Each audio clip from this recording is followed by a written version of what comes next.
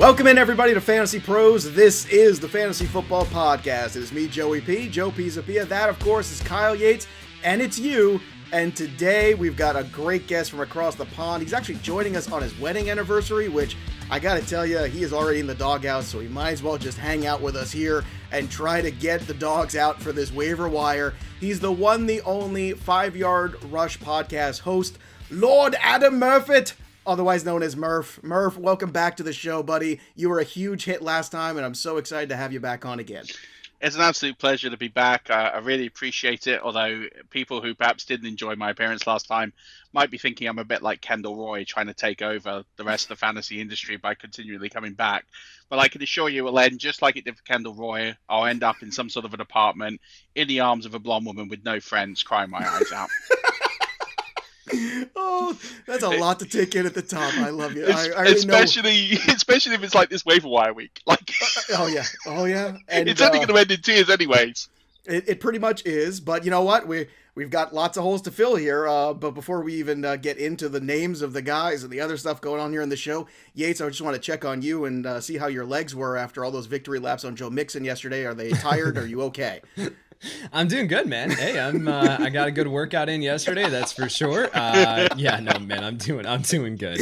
Awesome. All right, and uh, we're gonna talk about uh, some of these big time running backs who are now out again, if you can believe it. I don't know why we can't have nice things in fantasy football, but for some reason that's been the story of 2021 and kind of the story of 2020. It was another weird week uh, in in week 12. I think every four weeks we're kind of due for one of these. I feel like every month we get one of these weeks where we look at each other and go, "How did that happen?" Well, this is what we're at, and this is why we're here. So week 13, we're gonna go through the waiver wire pickups. Before we do, I want to remind everybody about the contest we got going on at fantasypros.com/contest. All you have to do is subscribe to our YouTube channel, which is glorious. We have amazing content there. Every single podcast, every single Yates victory lap, every single short form live stream. You name it we've got it here. You can interact with us over on the youtube channel but you can't unless you subscribe. So subscribe today at youtube.com slash fantasy pros and then head over to fantasypros.com slash contest where you can win thanks to our friends at pristine auction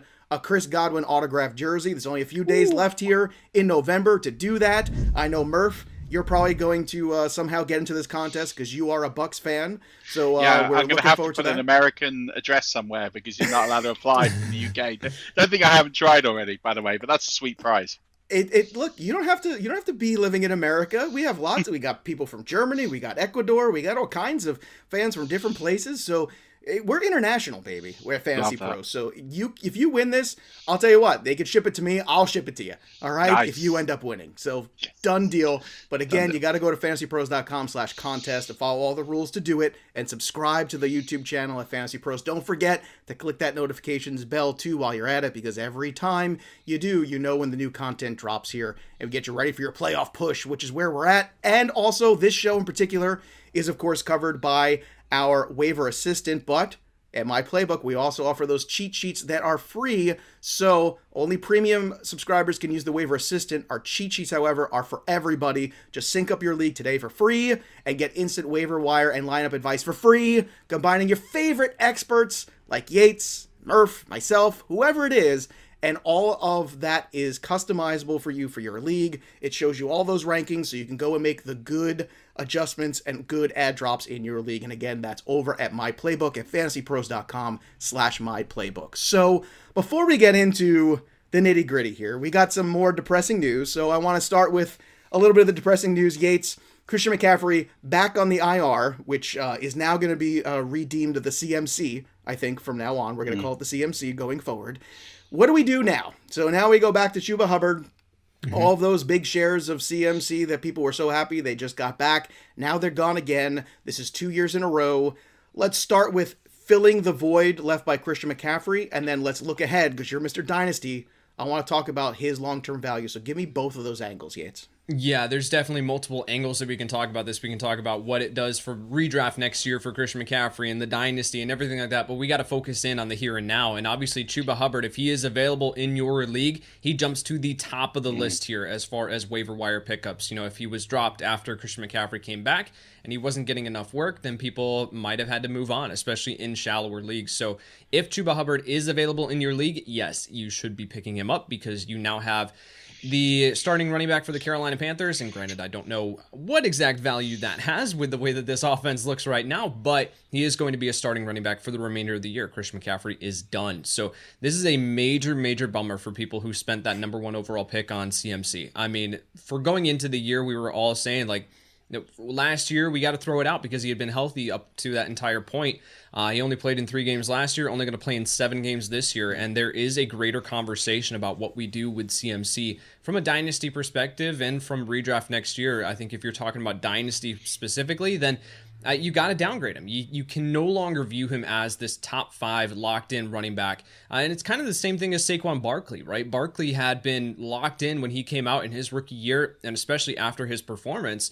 It was all right. We he's the dynasty 101, unquestioned. And then now he's borderline top five. You know, there are several players that we can put in that conversation over Saquon Barkley. I think that we have to have that conversation now with CMC that he is no longer a, you know, no longer the 101. He wasn't even after his first stint on the IR this year. Now, for sure, he's outside the top five. Mm. Yates, let's say that you are in a dynasty league that just started up two years ago when you took CMC 1 1 overall. Let's say it's a 16 team deep dynasty league. Let's also say your name is Joe Pisapia and you have CMC. uh, let's say all these things are true and you just want out now, what do you think is good value to try to get out of the CMC business? Maybe somebody else looking to rebuild. What sort of combination of player and draft picks do you think is reasonable value that everybody wins in that kind of deal?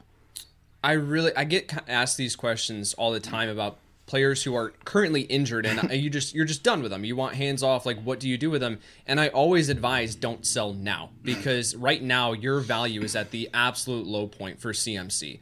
And I think that this is going to be one of the situations that you just kind of have to hold on to him throughout the entire rest of the offseason unless you are going into it acknowledging that you know what I'm going to take the absolute low point and I'm just going to get what I can get, and that's going to be dependent upon league, you know, format, league size, everything. What uh, will what the risk another manager is willing to take on, right? That's going to be dependent. So I think for right now, the way that I have to give advice is you hold on to him. I've got CMC in a couple of spots in dynasty leagues. I'm not selling him because right now I think you're going to get, I mean, a top 20 borderline running back right now and maybe a wide receiver because people are seeing the same thing that we are. That you're just not getting a ton of value right now for him. Yeah, well, unfortunately, I, I have the same inclination. I figured I would just have to wait till the off season and everything in the off season becomes new again, and everything is okay, and everything is all projectability. But that is good advice. I'm glad you're reiterating, but I really want to get out of it now, Yates. Uh, just on go. just on Chuba Hubbard really quickly as yeah, well. Yeah, go ahead, Mark. I, I was going to give you really. Yeah. I'd be really tempted to not pick him up off the waiver wire this year. Like I know, I know what saying it's you know he's the RB one, but actually he's on bye this week, so he mm-hmm. gets the Falcons. If you're desperate in week 14, you're in a must win. Then yeah, all day long, push your chips to the table. But his playoff schedule is about the worst playoff schedule I've ever seen for a running back, because you've got the Bills, the Saints, and the Bucs.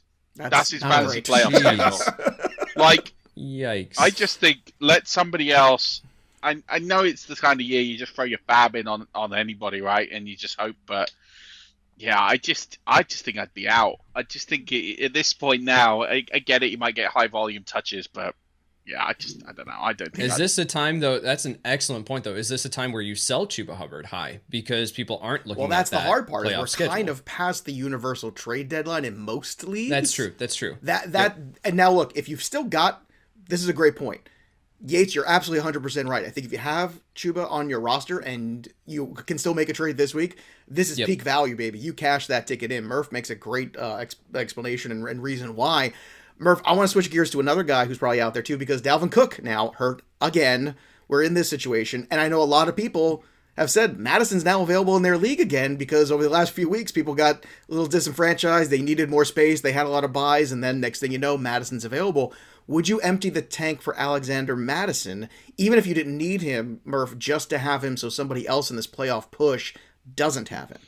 So I'd look I'd look at my schedule and I'd see who who's holding the fab, who would be likely to empty their chips to get in and get him, and am I going to be playing that person in the next two to three weeks? Mm-hmm. If if those scenarios are true, yeah, I probably would. It looks likely that it's going to be two, maybe three weeks. We're waiting to see if the if the if the Vikings are going to put him on IR.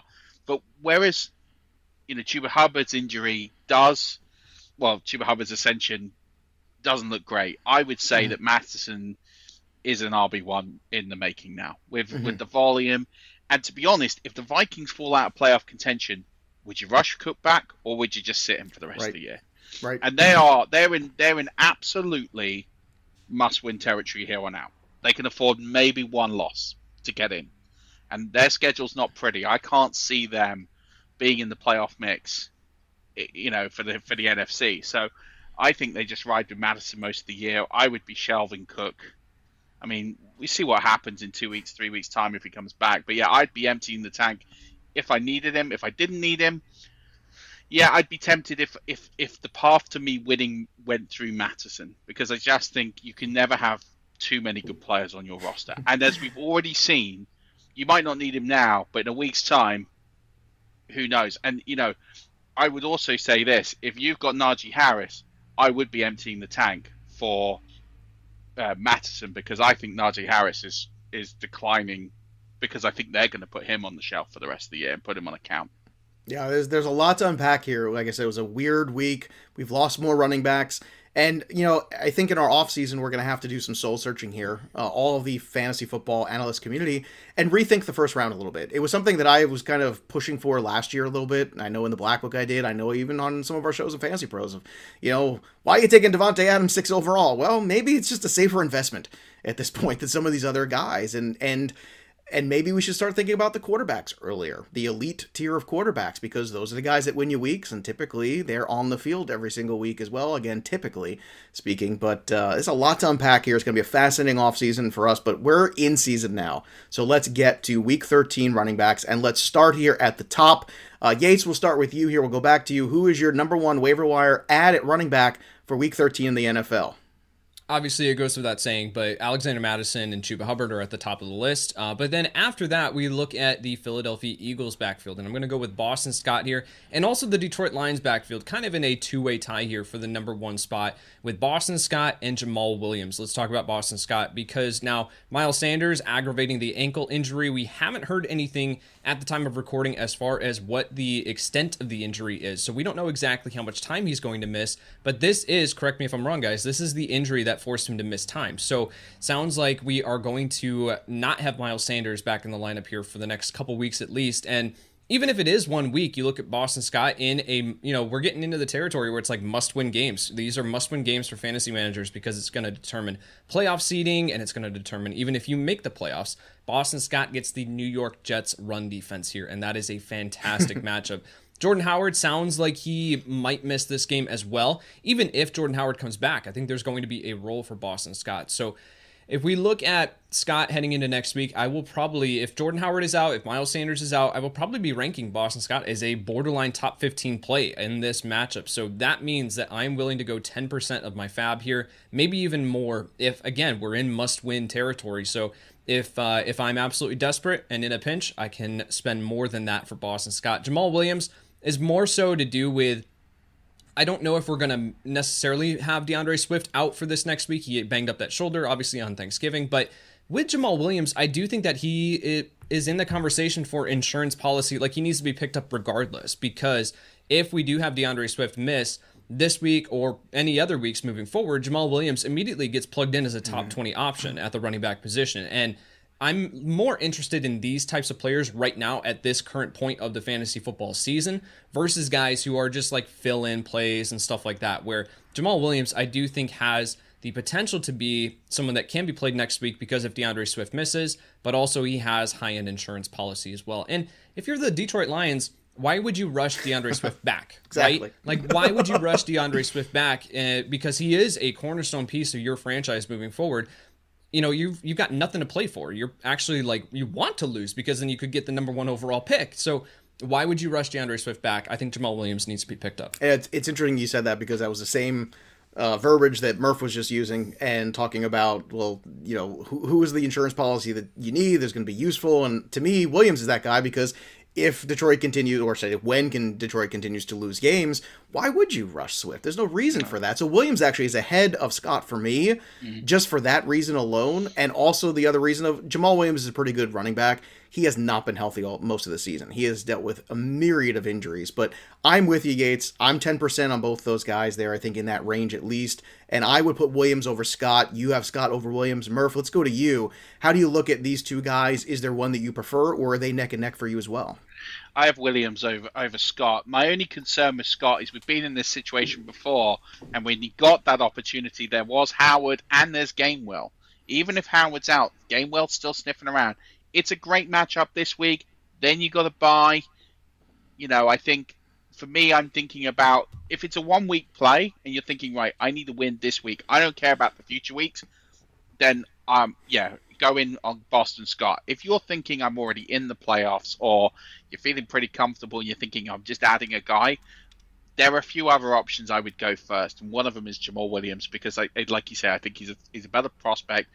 I think he's going to play. He's got less competition. I don't think they're going to rush Swift back.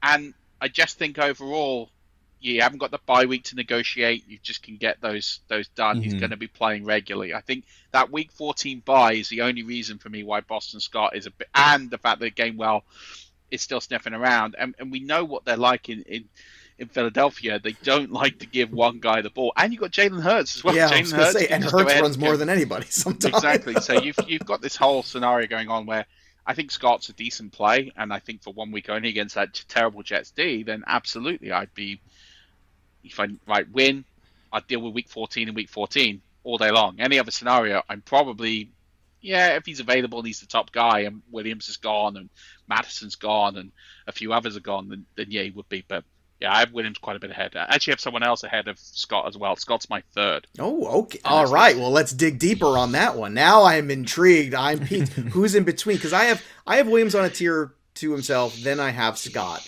Uh, but who is in between for you? I'm fascinated to find out. So I have Ty Johnson. You guys talked up Ty Johnson quite beautifully last week, so I'm not going to rehash a lot of the points. I know a lot of people are going to be very scared about what happened on Sunday. Tevin Coleman came in, he took a lot of the work away you know, what you got to remember is the New York Jets were in control of that football game. And so the game script allowed them to just run Tevin Coleman, to dominate the time possession, to run the clock out. That's just not going to happen with the Jets at any point for the rest of the season. They're just not. Maybe against Philly, if if Philly do what they did last week and, and, and lay an egg, maybe. But chances are that the Jets are going to be behind in a lot of games. Ty Johnson's the most explosive back. He is by far more involved in the passing game most good plays that come from that sort of short yardage do tend to go through him. There's no tight end really that's getting a lot of work there. And then on top of that, what you've got with the Jets is, you know, they, they still need to prove something. It's it's a new it's a new head coach. You know, they, they they're trying to get things going, and you know, other than Tim Coleman, there's not a lot of competition. I, I would not be worried about what, what was his name? Austin, Austin Walter. Waller. Yeah, yeah yesterday Austin afternoon, from the XFL.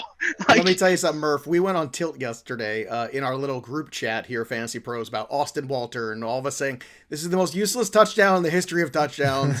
Who is this guy? What's going on here? Why is this happening? Uh, if you, you know, because I guess if you don't roster the uh, the fifth running back on the Jets uh, you can't play fantasy football anymore. If you, I guess that's where we're at. But but to your point, you're right. Game script certainly portends to Ty Johnson being more useful. And uh, again, that's a player we all wanted to pick up last week. So if he's still out there, I would certainly put him in that conversation for all the reasons you're saying, Murph.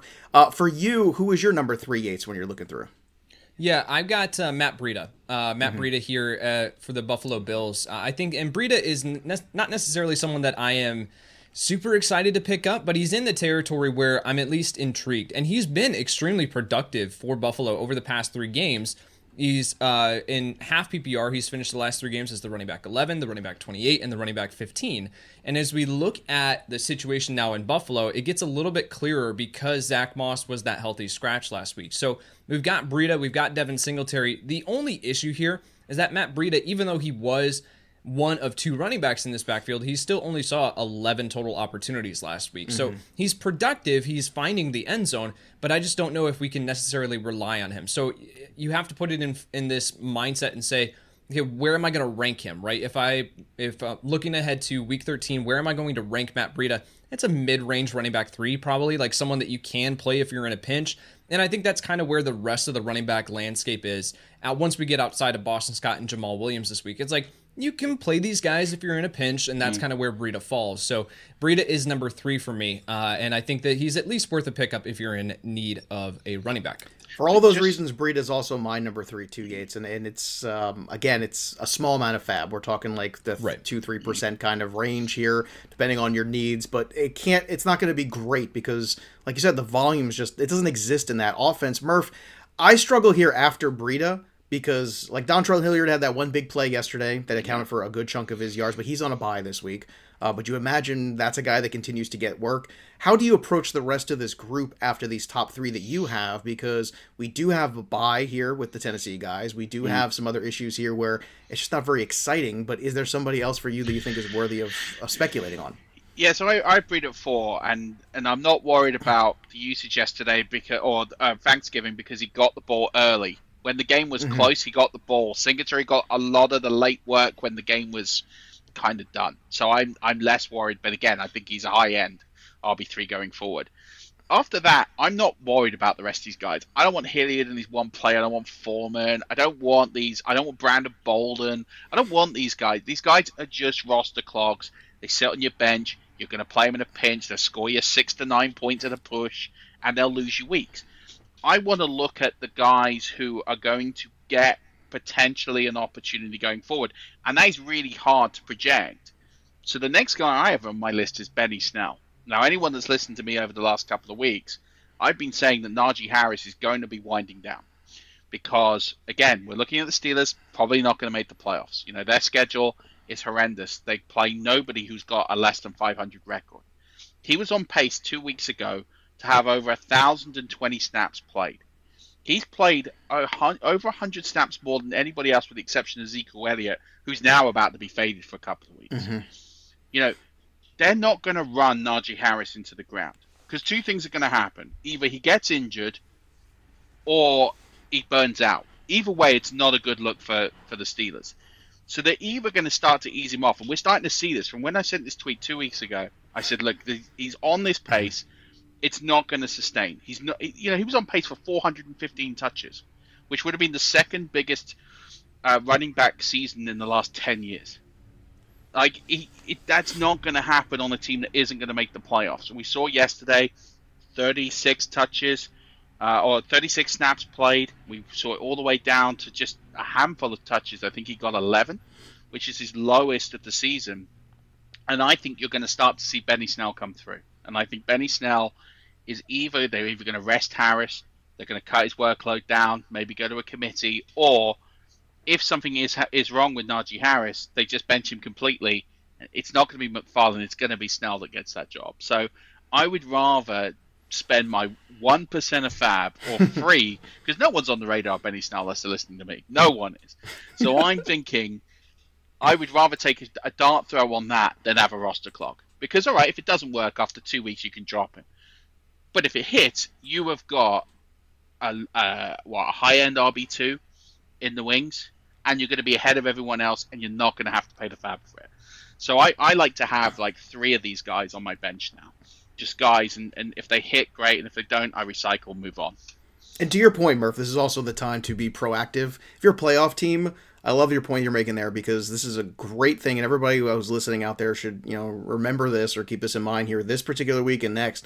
You know, as you're making this playoff push, start to look ahead if you know your playoff team and start to look at the bench and say, is this person really helpful to me, or is it more important to have an insurance policy on this running back or that running back there? And I think that's something that the better fantasy players do and prepare for the worst because inevitably in 2021 that's what happens you get the worst, typically speaking. Uh, anybody else here, Murph, uh, on this running back list? Uh, Tony Jones, uh, Tevin Coleman, Lindsay, Burkhead. Anybody kind of pop to you, or is it just kind of stay away? No, I'd, I'd, stay away from all those guys. Again, I think they're all roster clogs. none of them are going to offer you anything. I mean, listen, if you went in on Tony Jones last week, I did. I sprinkled him in a couple of places as a late ad. Um, it didn't work out.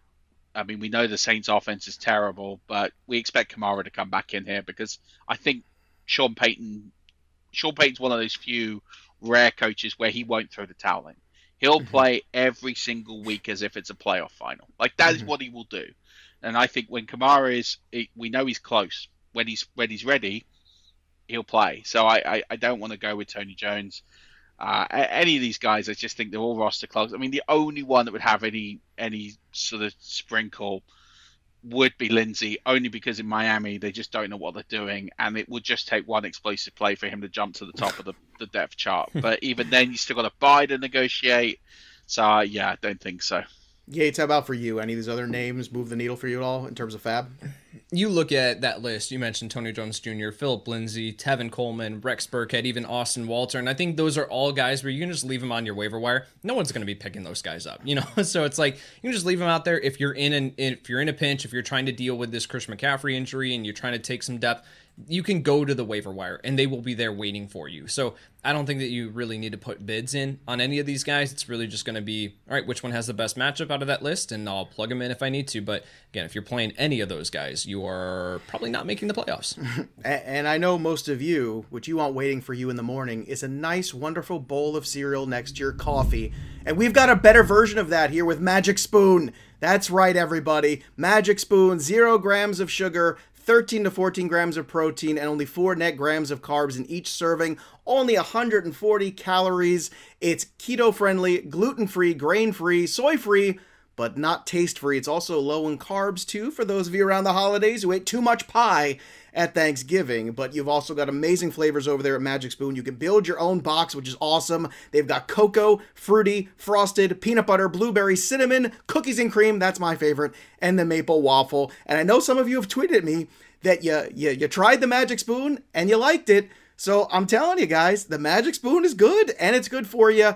I don't know what's better than that accept a deal. And I got a deal for you. Go to magicspoon.com slash fantasypros and grab a bundle of custom cereal today to try it. And be sure to use that promo code fantasypros when you do at checkout. Uh, they are so confident, Magic Spoon, in their product that they will back it 100% happiness guaranteed, which is something if you play fantasy football, you are far away from 100% happiness. I can guarantee you that. And uh, if you don't like it for any reason, they will refund your money. But that ain't going to happen because you're going to love it. So go to magicspoon.com slash fantasypros. Again, use that promo code fantasypros to get your guilt free cereal on and you get $5 off your order at Magic Spoon. So go get yourself a bowl today. And Murph, I was wondering this too because you know you know here in the states we have our thanksgiving we have our football traditions in the uk you just get like a free day of three games in a row do you just stay up all night and watch the football games on thanksgiving yeah, pretty much. I mean, I, I game passed uh, the Saints Bills game. I kind of knew which way that was going to go, so I woke up the next morning, put it on Game and Forty, and watched that. Um, yeah, I mean, you say that. I mean, so to give you an example, the the Bears uh, Lions game was on at sort of five thirty. Right. It, it kicked off. Yeah, I mean, let, us flex these games, please. Like, please, can we just not have this? I've been saying like, it for years. People yell at me, Murph. They're like, "No, it's tradition." I'm like, "Well, I would like traditionally to have a football game that I want to watch." And typically, yeah. traditionally, the Lions are not very good. I'm just saying. Yeah, I mean, they did one with the other two. I mean, you you couldn't you couldn't odds the fact that the Saints were just going to capitulate and lose all their players. But you know, you have to look at this. We have a, a similar thing. So in in the UK for the Premier League we have the Boxing Day game, so effectively, I, it's a really right. poor equivalent. But if I have to name one, no, but I, I know what you're talking about. Yeah, Boxing Day is the day after Christmas, so that's mm-hmm. the day that everyone kind of you go to one set of parents on the Christmas day, you go to the other set of parents on on the Boxing Day. You have all the leftover food, and you probably get more food. It's just basically a second Christmas. That's basically all it is. It's a second day of Christmas, um, and we have the Boxing Day games on, but they're but they're flexed in the TV picks the best games. Like the, the cameras pick the best games, and that is how it works. And that way you've got you've always got a great game on Boxing Day to watch, and it's it's fantastic. And they're trying to do away with it um, to have this winter break for the sake of the players and not have games over there, and it would be a big loss if they do do that. Uh, there you go. Uh, words of wisdom. Let's flex these games. Let's also flex our muscles about some wide receivers and see if we can find a couple. Uh, my number one this week is Kendrick Bourne, who Well, despite the lack of huge volume, continues to be incredibly efficient. And I know I talked about him last week, uh, but I'm going to talk about him again. I'm not emptying the tank for Kendrick Bourne, but he's part of this offense. He was a piece that flew under the radar, I think, coming onto the Patriots last year, and I do think that he, the rest of the season down the stretch here, he's going to be somebody that they do lean on, and and Mac Jones is looking for him as he continues to evolve as a passer. Murph, who is your number one wide receiver ad this week? I have Kendrick Bourne as well. I mean, you just look at Sunday; he ran routes on 29 of his 33 snaps, according to PFF. Three touchdowns in his last three games, especially when that level of competition goes up for the Patriots. Mm-hmm. Kendrick Bourne is who he's looking for. Him and Hunter Henry. They're the two he's looking for in the red zone where it matters. So I'm I'm with you. Kendrick Bourne for me is he's the wide receiver on the Patriots I want to own. I know Jakobi Myers is a nice, safe, you know, PPR option, sort of like the Hunter Renfrow of the Patriots, where he'll get you a nice amount of points and you get your wide receiver three performance every week. You can take it to the bank, but he's not going to get in the end zone. I mean, how hard did they have to try when they were out someone to get in the ball in? Um, so yeah, I, I want Kendrick Bourne, uh, especially if I'm looking at upside in my flex position and I want to chase touchdowns. I'm mm-hmm. I'm on Kendrick Bourne all day long. Yates, how about for you? Who's your number one wide receiver ad in Week 13? I'm. I'll get to my number one. I'm actually going to disagree with you both on Kendrick Bourne. Uh, I've got. Well, I expect you to because you yeah, disagreed so, with me last week. yeah, so I do think that Kendrick Bourne is someone that you can add. Right, I don't have him down at like ten in my wide receiver rankings or anything like that. I've got him at six. But you look at his upcoming schedule, and it's Buffalo, and then a bye week, and then you know. So I think that is something where I don't know if I'm going to want to play him against Buffalo. Like he's getting the targets, I get that, but that is an extremely tough matchup. And then you look at the bye week, you have to navigate that, and then mm-hmm. we're right into playoff, right? And so uh, with week 15, so I just don't know what my level of confidence is going to be in Kendrick Bourne and adding him over the next two weeks because yeah, he had you know 61 receiving yards yesterday, he had the two touchdowns, but that a lot of that yardage, like that defender, if that defender just ensures that he pushes him out of bounds, that doesn't happen, right? Like he he just kind of like nudged him because he thought he was going to go out. So a lot of that, I think last week was a little bit fluky. Now he has been getting the job done. I'm not going to argue that. You know, wide receiver five in standard, forty and four the past three weeks. So he has been getting it done. But you just look at the next couple weeks and you say, okay, I just don't know if I want to rely on that. The guy that I'm going to have at my number one is, and this is a very like eight percent fab bid is Kenny Golladay. Kenny Golladay here with Jason Garrett out of town. Got seven targets yesterday. And that is at least intriguing to me with his talent level to make me buy in at least to the level where I say, okay, he's a flex play moving forward. I don't know if we're going to ever get the low end wide receiver two Kenny Golladay that we thought we were going to get in draft season, or you know, some people were even talking about him as a top 12 option when he signed in New York. We're definitely not going to get that.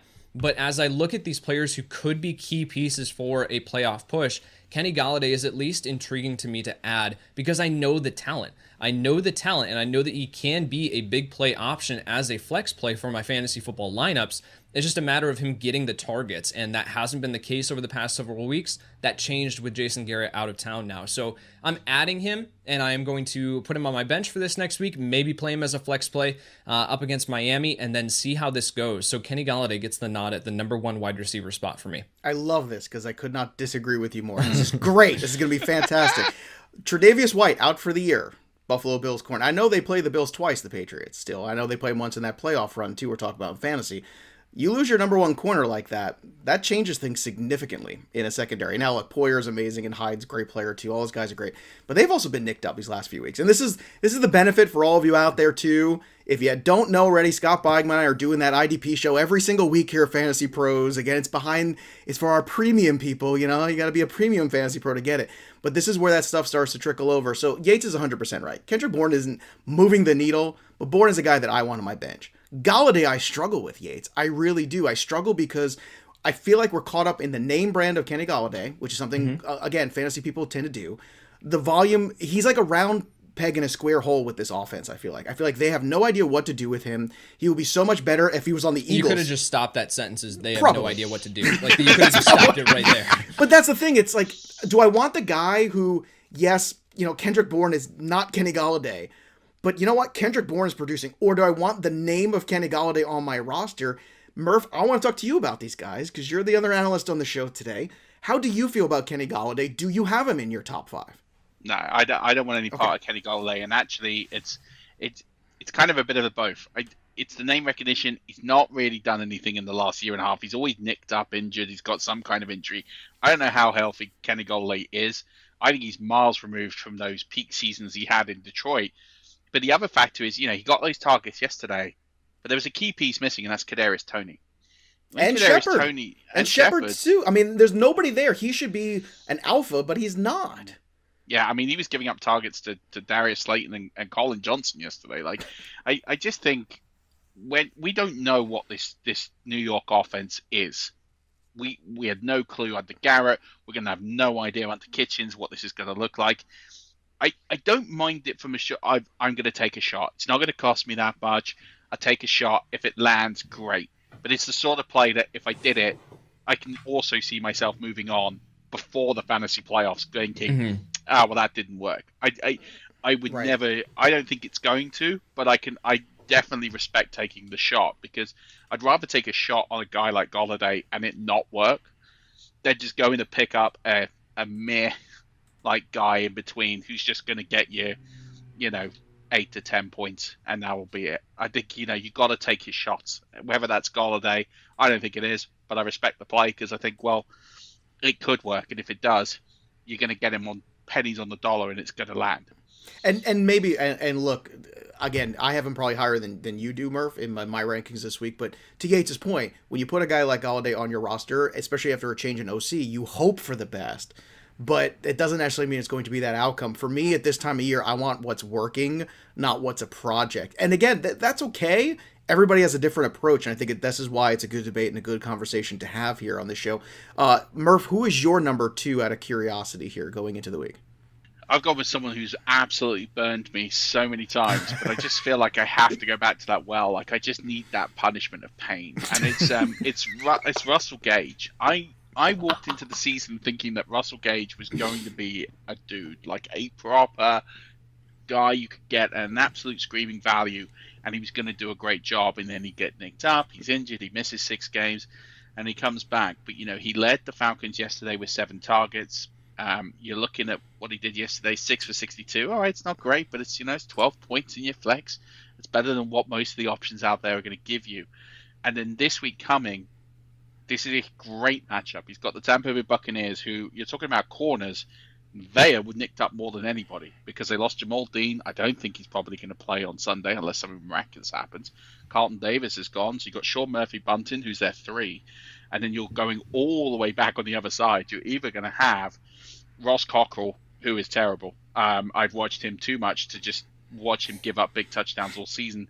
Or you got Pierre Desir, who, I mean, like this guy was left on free agency till I think October right. when or September when the Buccaneers decided to pick him up because they lost Richard Sherman, they lost everyone else and signed him. Like this guy wasn't wanted by any of the 32 teams. So you've got an opportunity here with, with Gage. Like I know Matt Matt Ryan's arm is going slash gone, and I, but you know Carson Wentz lodged bombs yesterday. Um, the opportunities are going to be there to take shots, and you know if you're a rookie head coach, you're playing the champs, you realize you're probably not going to win. You've just got to go swinging, and I think this is one of those weeks coming up where I can see Gage going off. I think he yeah. gets in the end zone, and I think he could have a monster week. And then confidence is a funny thing. Even if you lose and you put a big week up against the champs, and you think, well, I got in the end zone twice against the Buccaneers, that starts to just fuel the rest of the team, and then the, things happen. So I, I like Gage for the rest of the season. I think it's a great matchup, and I think they can kick on from here and try and finish the team, or try and finish the season I don't know, well, respectable. I, I yeah, respectable. Like just know, finish, just finish the season. I think I maybe mean, they, just they are. It. I mean, they're the worst five and six team I've ever seen. Um, they're pretty because, bad. You're not. You're not wrong. But, but I think they've got opportunities, and there's no one for competition out there. So I like Gage. I think match up, and let's see what happens. You encapsulated the Gage journey quite well because I had a few shares myself that I dropped, and then found myself at any given time having to pick him back up again and being disappointed for the most part. I got one good game out of him in one of these weeks. I did get that. Yates, when you're looking at this board now, I know Golladay's your one. Who is your two at wide receiver? My, Yeah, my number two wide receiver on the week is DeVante Parker. Uh, and Parker is another guy who has just been in and out of the lineup. He's not someone that we can necessarily trust, but you look at the players in this list who you can say, all right, are they going to be valuable flex plays for me moving forward? And I think that DeVante Parker can be when he's on the field. You look at his season, he's only played in five games, but he's had a minimum of seven targets. Like that's his lowest target output in any of those games seven, nine, seven, nine, and 11 targets. And he's been producing with Tua Tagovailoa as his quarterback. So I think DeVante Parker, it's a absolute risk. You know, he could be one of these guys that you pick up and then he gets injured next week. We don't even know if he's going to be coming back into the lineup this next week. Like there's still some uncertainty there, but with Parker, he is one of these guys. You look at his upcoming schedule. He's got the Giants in Week 13. He's got the bye week in Week 14. So that's something to be con, you know concerned about and uh, and consider. But then the playoffs: New York, uh, New York Jets, then the New, New Orleans Saints, who aren't as tough on opposing wide receivers as you might think, and then Tennessee. They're just getting gashed by opposing wide receivers as well. So that is a very favorable matchup and uh, playoff schedule for DeVante Parker. So he's one of those guys that I feel like I can pick up I can stash him on my bench until he comes back, and then I'm going to feel comfortable that he is going to at least return flex value for me in the fantasy playoffs. Okay, so you've got those two guys at the top in Golladay uh, and um, the last one you just discussed, Parker. So Parker. So let's go to the rest of this board here for a second because it's names like T.Y. Hilton, Rondale Moore, Sterling Shepard, who's been hurt for weeks now, Laviska Shenault, who we all were fed that bill of goods that we're going to get Laviska Shenault the ball more. And it happened for like, what, two plays to open the game, and then it all fell apart. DeSean Jackson, who had a, a big Thanksgiving game that I'm sure a lot of people saw and a lot of people will chase. So it is a landmine riddled uh, wide receiver group this week, Yates. Are there any other names in particular that you think are worth an investment? I'm with Murph on Russell Gage. I've got him at three on the week. Uh, I think that he is absolutely someone that we can pick up, and he was he's what I would describe as like a high floor play, right? Like he's someone where I at least feel comfortable now with Cordarrelle Patterson in the lineup, apparently being the secret to Atlanta actually moving the ball, which is just showing you how crazy 2021 is. But I at least feel confident that Russell Gage is going to not burn me, right? And that's kind of what I want in in uh, certain lineups right now. I've got some spots where I'm like, I'm, you know, I was trotting out Jamison Crowder, and he burned me yesterday with Zach Wilson. You know, one reception for five yards. It's like if I can at least get a high floor play at least for next week, you're talking about Tampa Bay, and then moving forward, favorable schedule as well. I think that's something that has value. So, as a flex play moving forward, Russell Gage, I think, is now starting to enter into that top 45, maybe top 40 conversation at the wide receiver position.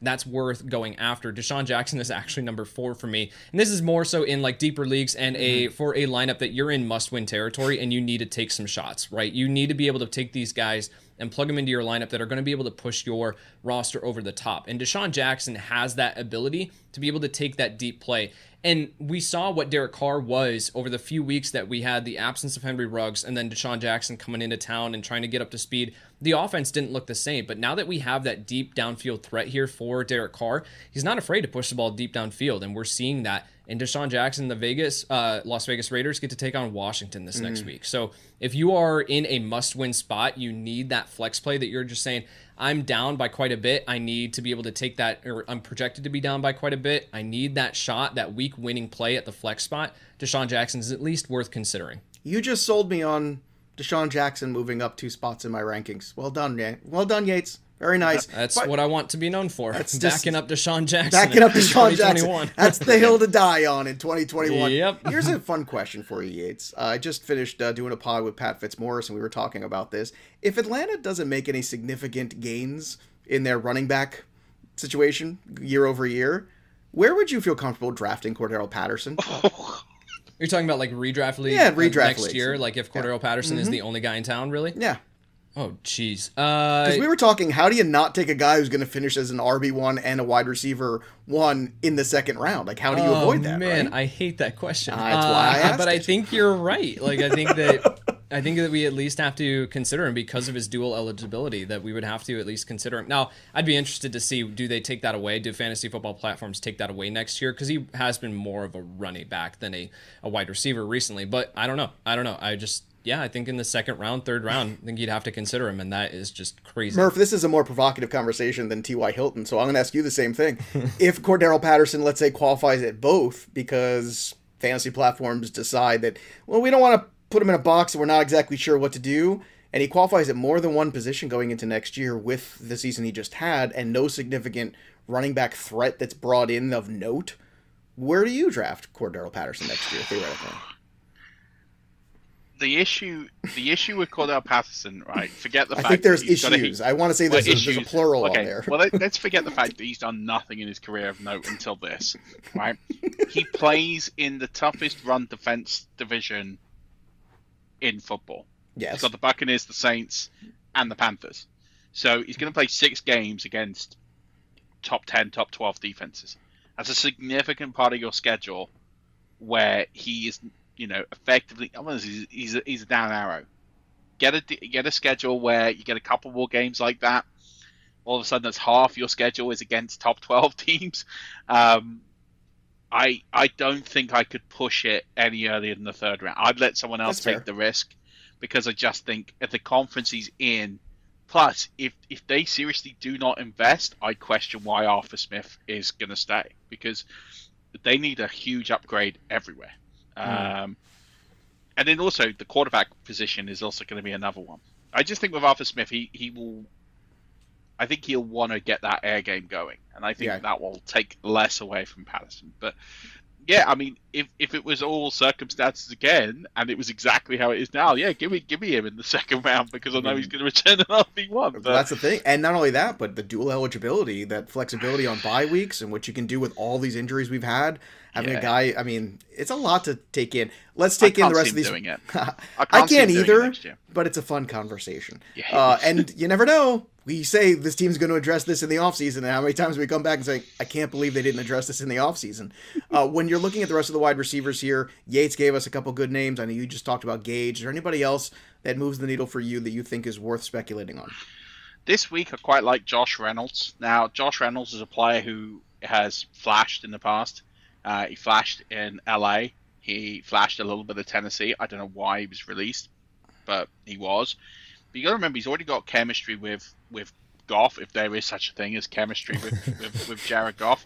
Um, but, but I, you know, I you have to look at why a team like Detroit Lions would sign Josh Reynolds at Mhm. the stage they're at, where they're clearly not going to make the playoffs.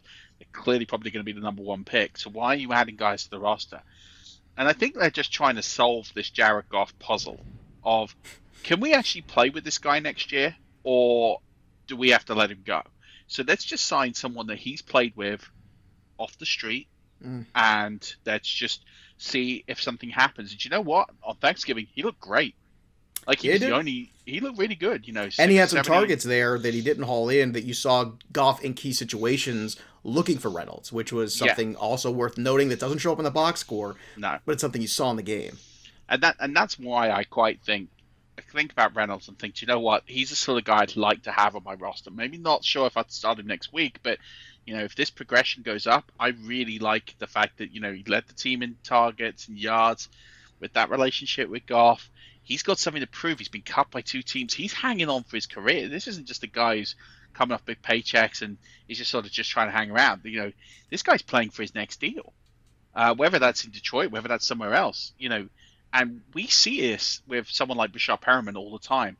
Guys who are at the end of a contract, just trying to get another contract, they do everything in their power and absolutely just ball out to get that contract. And I, I just like that perfect storm of a team that are just trying to win or trying to do something with guys who are just trying to get stuff done. With that relationship with Goff, I just think it's all a perfect storm where he can have some good weeks here. Now, I'm not saying he's going to put up wide receiver one weeks here, but I think you know he, he could easily have some top 40 weeks going forward, and that, I, that interests me. That does interest me quite a bit. So he'll be getting on some of my rosters this week. All right, so besides Reynolds, is there anybody else that interests you too? Any other deep names? I'd be playing. I'd be playing looking ahead now. I, I look at the rest of those names. Uh, you know, your Ty's and everyone else. They are what they are. Like you know what you're Mhm. getting. I like DeSean Jackson as that sort of play, but I'm actually looking ahead. There's two guys on the roster who who got bye weeks this week, and that's Nick Westbrook, who effectively is the one. And I know he didn't really show up in the box score, but you know the amount of targets he had yesterday, um, the the snaps he played, routes he ran. You know, everything looks like this guy's a one. Okay, poor targets, but you know he got out, he got outcoached by by Belichick and the Patriots. I mean, he's not the only wide receiver that's gone missing against them, and won't be the last either. If Julio Jones is not back in Week 14, he is a a wide receiver one on his team, and he's going to have a great opportunity to do something. The other one is Randall Cobb. Now, Randall Cobb is again on a buy. Now he is tenth in wide receivers in terms of red zone targets. Um, he's had 12 on the year, but he's only caught four, and all of them have gone for touchdowns. When they're getting down there, that run game's not working. They've got a nicked up Aaron Jones. You know, well, Cobb was hurt in that game there, too. He was, mm-hmm. and you know when when they're down there, Rodgers is looking for him. And I think again, I'm just thinking about shots. I want guys. If I'm not going to go with these static plays, I want guys who are going to get in the end zone. Give me someone like Cobb because I think in some of the matchups they got, I think he can. He can definitely find a way to to get in there. So I like the fact he's getting the red zone looks. I like the fact he's getting red zone targets. I just think, well, do you know what? If rather than T.Y. Hilton, who I'm not going to play this week, I'm going to pick up Randall Cobb for free because no mm-hmm. one's going to pick up Randall Cobb this week. No one, no one's going to contest me for Randall Cobb. I'll stash him on my bench if I've got a, a healthy roster, and I'll I'll roll him out next week in my flex if I need him. All right, moving on to the quarterback position. Last week, Mac Jones was my guy. This week, it's going to be Taylor Heinicke uh, on the road against Las Vegas Raiders. I like the Heinicke matchup there for him. I think he can throw the ball in Las Vegas, and also on top of that, Heinicke does give you a little bit of rushing equity. Yates, for a quarterback for you, who do you like streaming this week? Tua Tagovailoa has actually been incredibly consistent uh, over the past several weeks now, and he is uh, he is the fourth quarterback in NFL history to complete more than 80% of his passes in back to back games with a minimum of 30 attempts. So Tua is just getting the job done, and he's doing it with just Jaylen Waddle, and that's it. So you look at the New York Giants, I know that they slowed down Philadelphia, but Tua Tagovailoa is a better passer than Jalen Hurts, so I expect the offense there to be fine. So Tua is someone that you can plug in to your lineup as a streaming option. The other guy that I'll consider here is Justin Fields. And I think uh, it's going back to what we talked about at the running back position and a little bit with wide receivers. It's the guys that have this like league winning upside, the guys who I can at least feel comfortable with their long term outlook. And Fields, I don't know if he's going to be back from his rib injury this next week up against Arizona. But as we move forward, when Fields is healthy and the starter for Chicago, he's a borderline top 10 play at the quarterback position in fantasy. And he is currently rostered in only 19% of leagues. So Fields has the ability to be able to plug, be plugged into your lineup when he is healthy and he has like league winning upside because of what he can do as a runner. So those are two guys that I'm willing to take the shot on. The other one that I'll throw out here, yeah, I do like Heinicke this next week. We got to see what he does here on Monday Night Football. Sure. But the other guy, we just got word that Taysom Hill is actually taking first yeah. team reps here in uh, in practice for the New Orleans Saints. Sounds like he's still battling that foot injury. We don't know exactly if he's going to be fully healthy for this next game, but we know that it's just the same thing with uh, Justin Fields. That when Taysom Hill is healthy and active with his rushing ability. He does come with plenty of upside himself. So I will uh, also throw in Taysom Hill there. Murph, who do you want to stream a quarterback this week? See, I think Taysom Hill now with that news is is definitely by far getting to near the top of the list. I think because of that rushing floor, we know we've seen it uh, in five games last year. You know, he, he will produce numbers at the position as much as it's not pretty to watch. It doesn't really matter. I actually like Mac Jones this week, and I know it's a tough matchup against Buffalo, but there's just something about Mac Jones this year where he walked in on, you know, chip on his shoulder, and against better opposition, he's really getting it done. You know, mm-hmm. we saw against Tennessee, and I know Tennessee are beat up, and I know it's not the same team, but you know they're still a team that are first place in their division. You know they've got some big wins under the belt this year. Great coaching staff. We saw this against Cleveland. You know he he just seems to be when when the game is requiring him to step up and score points he is elevating his level. You know, over the last three weeks, he's the quarterback eight, um, including those two performances. You know, two 20 plus performances in the last three weeks.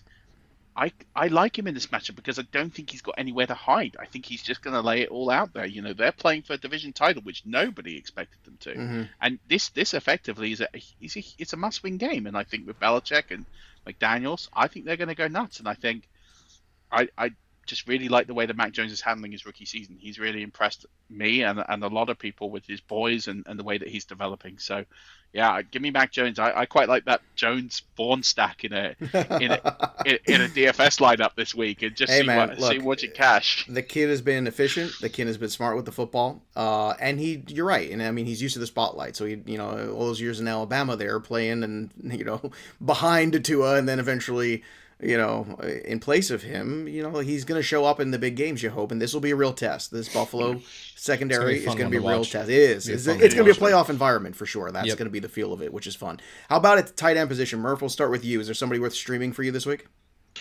tough one, but uh, you know I really like Foster Moreau this week. I, I don't think that uh, Waller's going to go. It looks unlikely that he's going to go. Moreau's been very useful when he's had to come in as like this substitute. And again, I at the position I'm looking at touchdowns. I don't care about the receptions. Like, I, give me a guy who's going to get in the end zone. That's going to that and a couple of receptions is going to get you the, the tight end one position you need. So I, I really like Foster Moreau uh, this week against Washington, and I think uh, I, I I think you know as a prop bet, I'd put him in to get in the end zone this week. Yates, I've got Conklin uh, at Detroit this week, especially now with Dalvin Cook's out of the passing game. Maybe Conklin steps back into some more targets there. Who do you think is worth streaming at tight end? I'm going to go to Cole Kmet. Uh, it's been a little bit of uh, up and down here for Kmet, right? He goes with eight targets in week nine, and then two in week 11, and then 11 in uh, in week 12. So it's a little bit of a yo-yo here with Cole Kmet's production, but I do think that he is becoming a key part of this offense. And I think even if Allen Robinson comes back into the lineup this next week, uh, that really doesn't move the needle much for me. So Cole Kmet, I'm following the targets at the tight end position. I do agree with Murphy with Foster Moreau though. He is someone I've got him at three in my tight end list, and that is just because I don't have that official word yet on on Darren Waller. It sounds like it was a uh, strained IT band or something like that. So we don't know exactly if Waller is going to miss. If we did know that, Foster Moreau would probably jump up to the top of the list for me. Jack Doyle is also someone that I think we can consider going up against Houston, right? He emerged this past week with a very, very solid game. Currently, the tight end one on the week. We'll see what happens here tonight. But uh, I think that Jack Doyle is someone we can consider as a mid range tight end two next week, a desperation play if you're in a pinch. Uh, if you have Waller and you aren't able to get your hands on Foster Moreau, I think Jack Doyle is a fine pivot option. It's that time again. It's time for our top five waiver wire ads for Week 13 in the NFL. Uh, Yates, let's kick off with you. Who are your top five ads? Yeah, so we talked about it. I've got Boston Scott at number one, Jamaal Williams at number two. Those guys could be interchangeable if you want to. Jamaal Williams with a little bit long term, uh, longer long term outlook, and then Boston Scott as the immediate play. Kenny Golladay for me at number three, which feels great. Uh, DeVante Parker at four, and then Russell Gage at five. All right. How about you, Murph? Who are your top five guys to add this week? So I have uh, I have Jamaal Williams at one. I've Ty Johnson at two. Uh, I have Kendrick Bourne at three. I have Russell Gage at four, and uh, believe it or not, I do have Benny Snell at five. I really do believe that this is going to be the start of him. Maybe not this week, but if something happens to Najee Harris and that production goes down again this week, he's going to be very expensive next week. So I want to get a- a week ahead of the curve and get him on my bench. I can tell you right now, if Benny Snell somehow has a huge playoff game at some point here, for people in fantasy, every you're gonna have a lot more followers. You're gonna have triple the amount of followers. It's gonna happen. You watch. Uh, for me this week, uh, Jamaal Williams is the top for me. Kendrick Bourne is two. Taylor Heinicke three. Uh, this is also the time to start adding a second quarterback if you don't have one, just so you have one in case as insurance. Uh, you mentioned Tua before Yates; he's another one worth adding. Four is Boston Scott. Five is the Kansas City Chiefs defense for me, which brings us to the streaming defense of the week. Kansas City Chiefs is where I want to go. I can't believe I'm here, but this is it. This is real life. Uh, and right now, they finished as a top 12 unit the last three weeks, and they finished as a top five unit last time we saw them on the field. So give me the Chiefs this week, uh, and I think they're a decent defense going forward. Uh, Yates, is there a streaming defense you got your eye on this week? I uh, definitely think Kansas City is a very solid option, uh, especially with that Teddy Bridgewater injury. We don't know if that's going to Right. linger into this next week, and we could see Drew Lock. If that is the case, then yes, sign me up for Kansas City. I think Miami is going to get the nod though as my number one option for next week. Though going uh, going up against the Giants, we always know that Daniel Jones is. Good for a couple turnovers, most likely. So, and you look at Miami, they were just left for dead in the middle of the season, but now over the past four weeks, they finished as the number three defense, number two, number 17, and then number one this past week. So they are a, a very, very solid unit. They're starting to get it together. They are someone that I think you can roll out as a potential top 10 play this next week up against the New York Giants. Murph, who is your ad at defense this week? I've got with the Minnesota Vikings. Uh, they have Detroit at Detroit. Um, similar to Yates's targeting of Daniel Jones, I like to target Jared Goff where possible. Always a good he- strategy. He's definitely good for a couple Hasn't of failed us turnovers. yet. Yeah. No. and I feel bad to pick on the Lions, but hey, you know, I care about winning more than making friends with Lions fans. So yeah, I'm going with the Vikings this year. All Well, How week. about the streaming kicker for week uh, 13 here? Where are you going? Uh, Evan McPherson for me. Um, Evan McPherson is the kicker three on the week coming into mm. tonight's games. Uh, he, you know, we had he had that horrible game against Green Bay earlier in the season, um, where you know it, it, was the stuff of nightmares. Um, I think a veteran kicker probably gets probably gets cut after the kind of performance he had, um, and he's come back and he's not missed a kick since. So it shows real determination from the rookie. You know, this guy was drafted as a kicker. He's got a heck of a leg. You know, I, I want to target uh, guys who can hit those 50, 60 yarders, and, and Evan McPherson can definitely do that. If you haven't seen the video of him kicking the bottle uh, on top of the goalpost in, in the, the, Florida Gate. Oh, mm-hmm. Go check it out. Yeah, there's a bottle on top of the goalpost in, yep. at the Florida indoor facility, and he kicks the ball and knocks the ball off. It's um, it's absolutely unbelievable. Um, but yeah, I just think with the leg, uh, he's in a shootout game against the Chargers. Yeah, give sign me up for that. He's going to put in a top five performance this week for sure. Yates, how about a kicker for you? I talked about him last week. It's Michael Badgley. Uh, Badgley has yet to finish outside the top 12 kickers in the last four weeks. Uh, so I think he is absolutely a solid option uh, that you can pivot to. Again, talked about him last week, and he's continued to deliver. Same for me. Badgley again, two weeks in a row. All right, let's finish things up strong here with a little lightning round and it comes to the keep or drop. I'm going to throw a name out. You do tell me whether you want to keep or drop them. Let's start with Rashod Bateman, rostered in 70% of leagues. A lot of people, a lot of people disenfranchised right now with Rashod Bateman. Yates, keep or drop? I'm keeping him. I agree. Murph, keep or drop? Yeah, all day long, okay. Good. I just wanted to get that one out of the way. Marquez Callaway, 51% rostered. Murph, keep or drop? Drop. Yates? I agree. You can drop him. Three for three. Khalil Herbert, I know he can never have enough running backs. I'm just throwing this out there. He's 38% rostered. Uh, Yates, keep or drop Khalil Herbert. He still comes with high, you know, a high end insurance policy, so I think he's worth keeping if you, you know, have spot on your uh, have a spot on your bench. But otherwise, I think you can move on if there's a better high end insurance policy available. Would you drop him for Jamaal Williams? Uh, that's close. That is actually very close. Uh, I think I because these are the questions point. we have to ask ourselves. So yeah, I, I know you would, would drop him for Boston point. Scott. That's why I asked. Now, Murph, would you drop him for Boston Scott? See what I did there? Uh, no, I wouldn't. I'd, okay. I'd keep Herbert. I just Montgomery doesn't look right. He still doesn't look right. He's not running well. Okay. Um, and again, I think you know he's a big part of our offense going forward. Could they flex in Herbert, knowing how well he's done towards the end of the season? yeah, I'll roll the dice. I'll keep Herbert.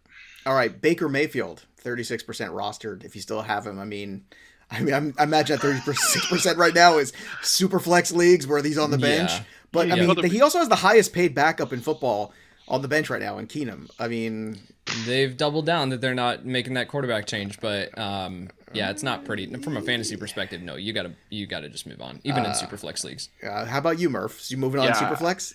Uh, I mean, unless there's literally no one on the waiver wire to pick up instead. well, if um, Zach Wilson was still out there now, would you would you roll with Zach Wilson over no. Uh, no. if Taysom Hill is out there, I will definitely move right. on from Baker so for Taysom. All right, yeah. last one here. Cedrick Wilson, 18% roster, but a very popular ad last week. Would you churn him and burn him here, Murph? I'd keep him another week. We still don't know uh, about the effects of COVID from Cooper, and uh, we don't know about Lamb's status. So I'd keep him a week, especially after what he put up. Um, and if he didn't, you know, if he wasn't getting the snaps in the place next week, then I'd cut him. There's no harm in holding for a week. All right, Yates, how about Cedrick Wilson for you?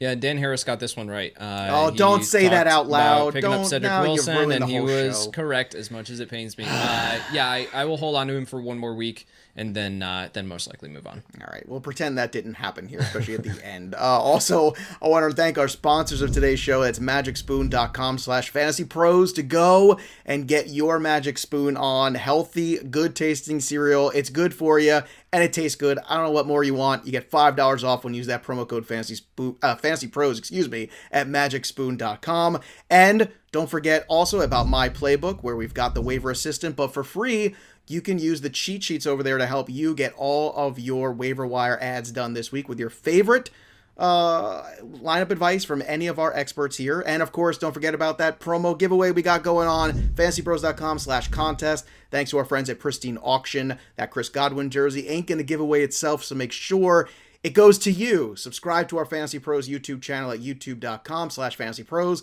and you can get in on that Chris Godwin jersey as well. And while you're at all of this, please please follow our good friend Murph over on the Twitter machine at Murph underscore NFL. That's M U R F underscore NFL and at Five Yard Rush as well. It's a great podcast. Murph, how's things going over there for the Rush Nation folks? I hope you guys are having a good season.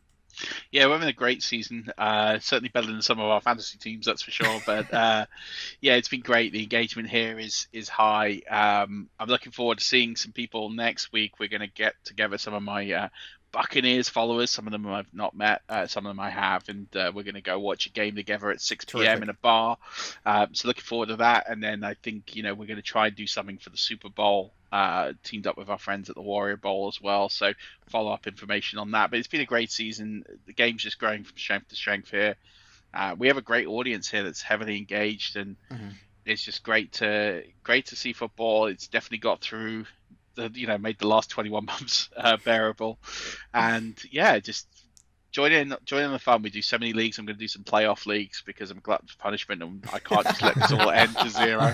Um, so yeah we'll be doing some playoff leagues and playoff contests and all sorts. So yeah follow us. And if you don't want the fantasy season to end in week 17 then don't worry we'll be able to fill that void for a few extra weeks there you have it. That's what it's all about, right? Watching the games, hanging out, and talking football with each other. That's why we do this in the first place. So, uh, a little bit of a reminder of that. So, if your teams aren't doing well, just remember it is still fun. You know, you're part of this whole crazy group of people that just loves this game and loves the fantasy game that revolves around it. So, enjoy while you can. Hope everybody had a great Thanksgiving and uh, good luck with all your waiver wire pickups. That'll do it for us. But the story of the game goes on. For Kyle Yates and Murph, I'm Joey P. We'll see you next time, kids. Thanks for tuning in to the Fantasy Pros YouTube channel. Don't forget to check out our featured videos. And while you're at it, make sure to follow us on Instagram, Facebook, and Twitter at Fantasy Pros so you can get the latest news and updates to give you the edge you need in your fantasy league.